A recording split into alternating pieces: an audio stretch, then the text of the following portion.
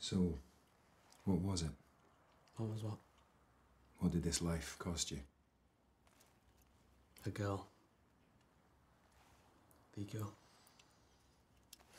This life, this job that you've chosen, takes a lot. You know?